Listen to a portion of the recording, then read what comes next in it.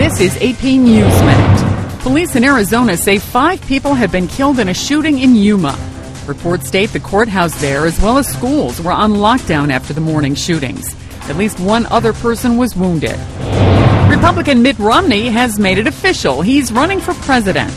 The former Massachusetts governor says President Barack Obama has failed the country, and he says he's the one who can fix the nation's ailing economy.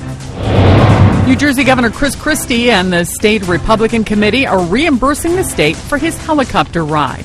Christie was heavily criticized after he and his wife were flown in on a state police chopper to catch their son's high school baseball game. The Women's French Open final is set. Sixth seed Li Na will play defending champion Francesca Schiavone on Saturday for the title. Sandy Kozel, The Associated Press, with AP News Minute.